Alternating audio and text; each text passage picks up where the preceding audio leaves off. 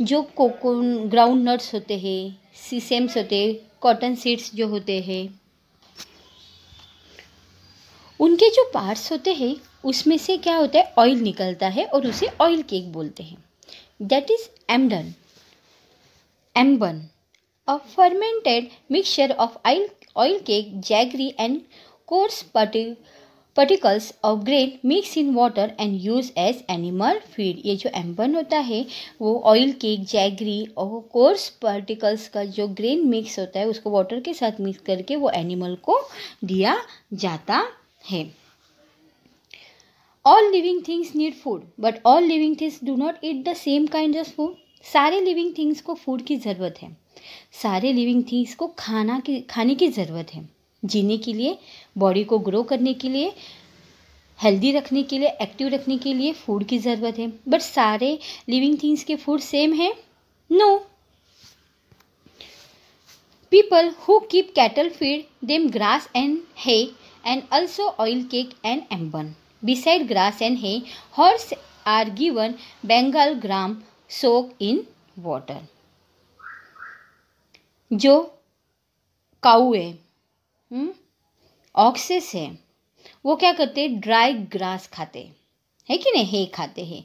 उनका खाना होता है grass and hay oil cake and एम्बन same horse also eat grass soak in water goats and sheep eat the leaves of various kinds of shrub beside eating grass goats और जो sheeps होते हैं, वो क्या करते हैं? श्रब्स के leaves खाते हैं, पत्ते खाते हैं।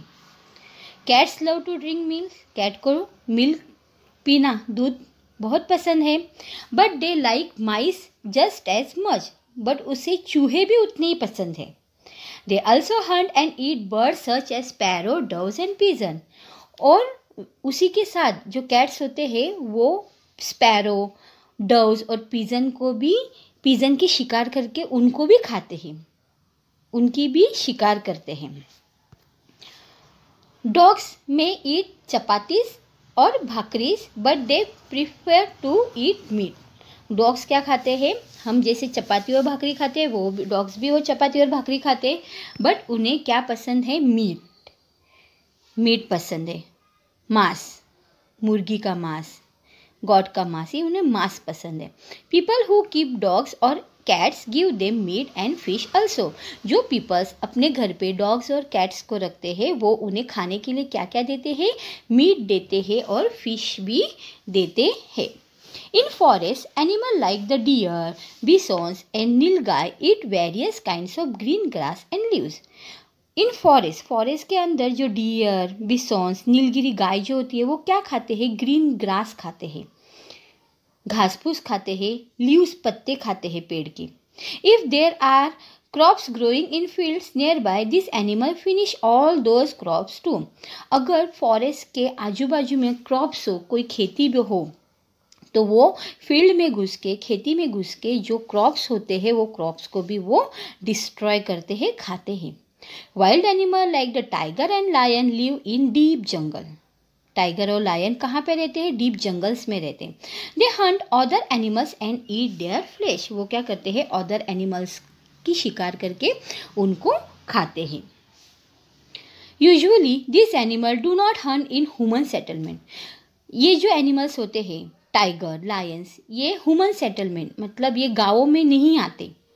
ये क्या होते हैं, जंगल्स में फॉरेस्ट में ही रहते हैं और वहीं पे जो डियर्स वगैरह होते हैं छोटे छोटे जानवर होते हैं, उनकी ही हंटिंग करके उन्हें खाते हैं। But sometimes when they are slave they are force to enter nearby villages then they kill and carry away cattles but अगर जंगल आज देखिए, जंगल के जंगल नष्ट होते जा रहे हैं। उस टाइम पे वो क्या करते हैं? वो विलेजेस में घुसते हैं।